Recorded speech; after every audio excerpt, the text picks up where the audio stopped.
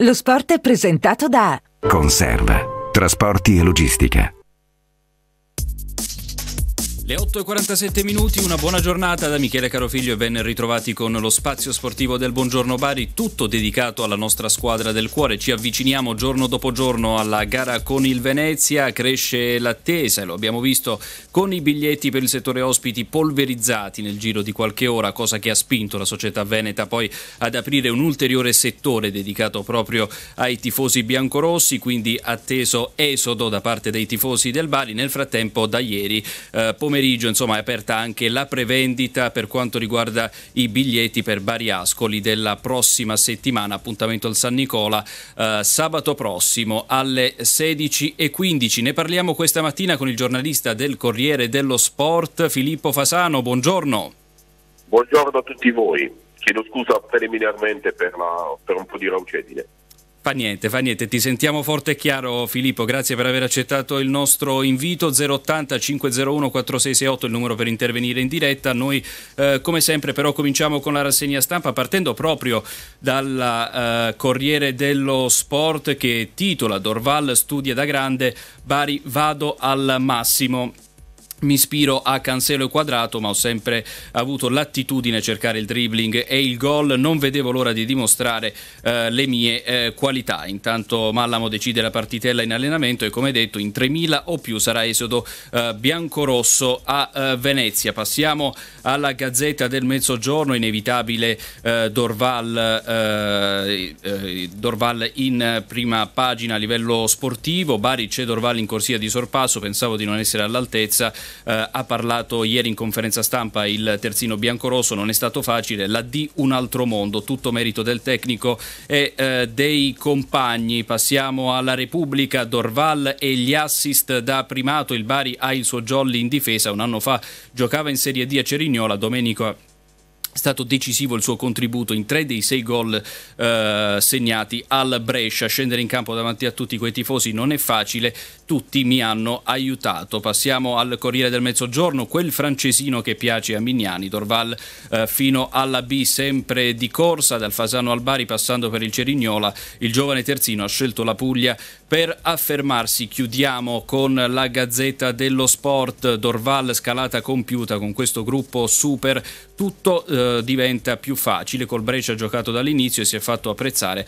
Adesso lavoro per fare meglio nella fase difensiva. E allora eh, noi eh, abbiamo anche uno stralcio della conferenza stampa eh, di ieri pomeriggio di Dorval, la sentiamo e poi eh, la commentiamo insieme.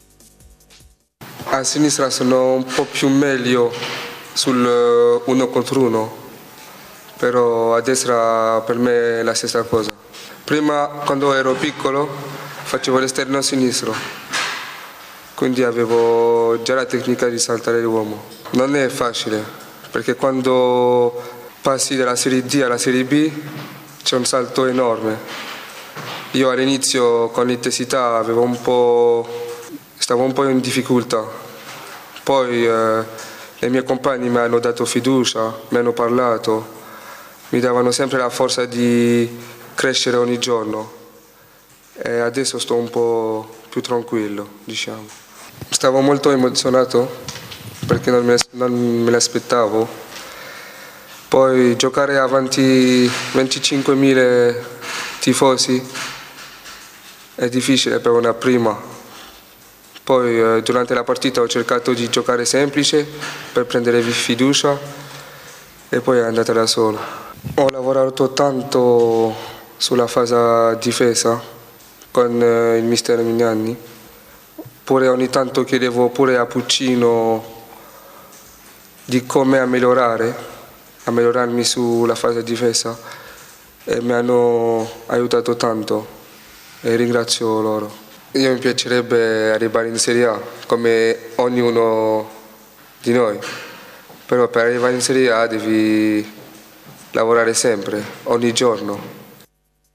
E allora queste le parole di Mehdi Dorval, insomma abbiamo capito proprio da queste su- sue dichiarazioni Filippo no? che poi quando c'è un gruppo forte diventa più facile eh, per tutti inserirsi in un contesto squadra e poi anche eh, migliorare in tempi brevi. Quanto ti è piaciuta eh, la sua partita? Mi è piaciuta molto come tutti, ha fatto le cose che sa fare in modo semplice, cioè attaccato ha appoggiato costantemente l'azione senza avventurarsi in dribbling impossibili ma appoggiando eh, la manovra offensiva nel modo giusto e con i tempi giusti come si è visto poi in occasione di tre dei, quattro, dei sei gol del Bari uno direttamente, due indirettamente eh, mi riferisco alla palla poi spizzata da Chedira e al gol al lancio del secondo tempo finalizzato dallo stesso Chedira e poi grande applicazione della cosa che magari sa far meno, in cui sta progredendo e migliorando però la fase difensiva.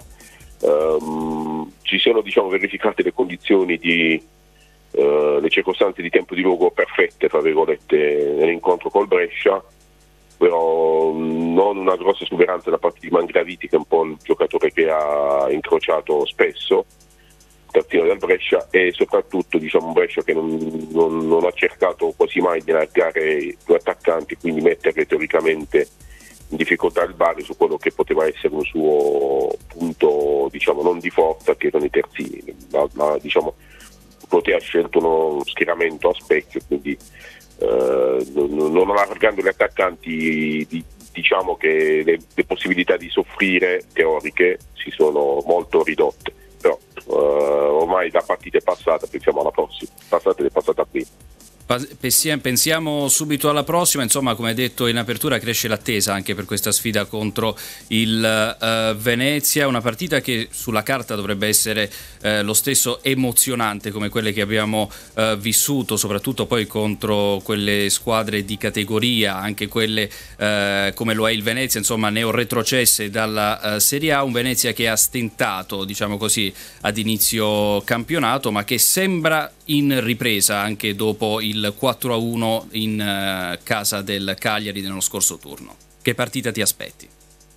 Sì, una partita eh, combattuta in cui mm, secondo me bisognerà gestire i vari momenti all'interno della partita perché una squadra diciamo è possibile che sia un, incontro in cui uh, le, le, le, squadre possono avere alternativamente il sopravvento, il Bari dovrà tenere botta come adesso ha fatto, fino adesso ha fatto egregiamente, nel momento in cui magari Uh, ci sarà da contrastare le folate offensive dei giocatori del Venezia che, offensivi del Venezia che si sono esaltati tantissimo nella gara di Cagliari con, uh, non solo per, segnati, anche, per le quattro reti segnate ma anche per un palo colpito nel primo tempo che uh, stava loro mettendo la partita in discesa prima ancora che poi riuscissero a rimontare il vantaggio iniziale eh, dei padroni di casa. Eh, è una gara aperta a ogni risultato, c'è grande attesa perché Venezia è sempre stato anche negli ultimi anni un crocevia eh, importante per una, un crocevia notevole per uh, le ambizioni di un'intera stagione ha fatto scuola ovviamente la gara il 2-1 di tuta oppure lo spareggio perso a ritorno per scendere in cifra il Bari ha anche guadagnato una salvezza con un gol decisivo di Osmanowski all'inizio degli anni 2000 e la, l'attesa è certificata da questo flusso infinito di tifosi, tant'è che la società di casa ha pensato di destinare l'intera curva nord ai sostenitori biancorossi, misura che non si era verificata mai l'anno, l'anno scorso nonostante la partecipazione del, dei lagunari al campionato di Serie A. Questo attesta l'eccezionalità eh, dei numeri dei tifosi del Bari quando decidono di spostarsi in trasferta ma questo già lo si sapeva. Abbiamo un ascoltatore in linea, pronto? Michele, saluto l'ospite, sono Gianni Dagliapicia. Ciao Gianni, buongiorno. Grazie, buongiorno. Michele, io sento molta euforia in giro eh, per la partita contro il Venezia. Io ho visto la partita invece Cagliari-Venezia. Venezia è una gran bella squadra, eh? E ha un, paio di giocatori veramente pericolosi. Uno è un finlandese, eh, si chiama Finisce con Palo, ma poi a giocatori di categoria e giocatori insomma, che la palla la sanno ben giocare. Quindi apriamo gli occhi in questa partita. Eh? Buona giornata. A te, grazie Gianni, grazie per il tuo intervento. Beh, anche come avevi detto prima, insomma, eh, no, Filippo, eh, è anche poi il leitmotiv, possiamo dire, di questa stagione. Ovviamente con l'ottimo avvio di campionato del Bari si guarda sempre con fiducia, è inevitabile che l'entusiasmo possa crescere, però restiamo coi piedi per terra, ovviamente non, non, dobbiamo essere noi nella condizione poi di sottovalutare gli avversari, anche perché poi il Venezia, come abbiamo detto prima, insomma, è una delle squadre neo eh, retrocesse e nonostante l'avvio stentato sembra in ripresa e comunque eh, per forza di cose avrà altri obiettivi e si sarà eh, prefissato altri obiettivi ad inizio stagione certo ha usufruito anche di un budget diverso. Del famoso eh, paracadute. Sì, sì, non solo, anche perché è un organico poi proveniente dalla Serie A che l'avventura in Serie A non era andata bene, però presumibilmente attrezzato in misura superiore rispetto alle altre squadre della, della cadetteria. Probabile che il, lo, l'ascoltatore della carta si riferisse a Giampalo, che non solo era un giocatore, un giocatore che si è distinto nel secondo tempo, è stato proprio l'attaccante che ha colpito il palo sullo 0-0 prima che poi sbloccasse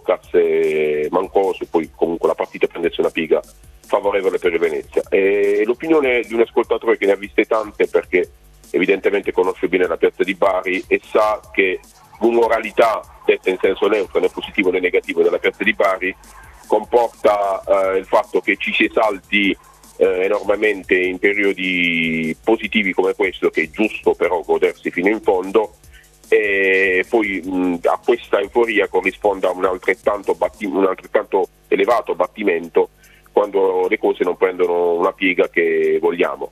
Io dico una cosa, che in questo momento è giusto godersi questo periodo fino in fondo, soprattutto per tutto quello che è accaduto negli ultimi dieci anni, per la, l'ascesa eh, costante degli ultimi quattro, che però il Bari si è guadagnato faticosamente gradino dopo gradino. E, mh, prendere il buono che questa squadra ci dà, che è una squadra che ovviamente non è battibile, è sempre perfettibile, che però è una squadra detta volgarmente ama giocare a pallone, sa giocare a pallone, una squadra che gioca sempre palla a terra, che, di cui i tifosi del Bari possono andare assolutamente orgogliosi. Questa è una cosa che non sempre è avvenuta nel corso dell'ultimo ventennio, quindi anzi è avvenuta rare volte, quindi è un ottimo punto di partenza anche per fidelizzare e far innamorare i giovani tifosi che si stanno affacciando in massa allo stadio. Filippo, 30 secondi alla chiusura di trasmissione. Oggi nel TB Sport lanceremo il consueto sondaggio settimanale. La domanda eh, che rivolgeremo quest'oggi sarà quale Bari del passato ricorda eh, questo attuale? Vuoi essere il primo velocemente a partecipare? Ah, quindi inauguro io il sondaggio? Inauguralo tu, sì. Uh, per me è un pezzo unico questo Bari, se proprio devo sceglierne uno, scelgo il Bari di Materazzi uh, 93-94, perché aveva la, diciamo, il mix tra giocatori che in B avevano già dato qualcosa, avevano già dimostrato qualcosa, e ragazzi promettenti che non avevano un grande pedigree alle spalle. Perfetto, perfetto. Noi siamo. Mi sono anche tenuto, tenuto nei 30 secondi, hai visto? Eccellente, infatti siamo giusto giusto in uh, tempo per chiudere. Grazie a Filippo Fasano, giornalista del Corriere dello Sport, per essere stato con noi questa mattina. Grazie a voi e un saluto ai vostri spettatori. Per la regia di Telebari ringrazio Federico Semplice e Giuseppe Lorusso, per quella di Radio Bari Paolo Gentile, grazie anche a voi per la cortese attenzione. Appuntamento con lo sport che torna come sempre alle 14.35. Ciao! Lo sport è stato presentato da Conserva, trasporti e logistica.